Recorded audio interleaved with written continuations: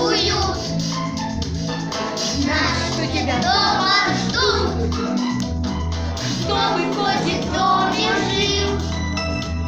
И пес, и кошки сторожил, чтобы не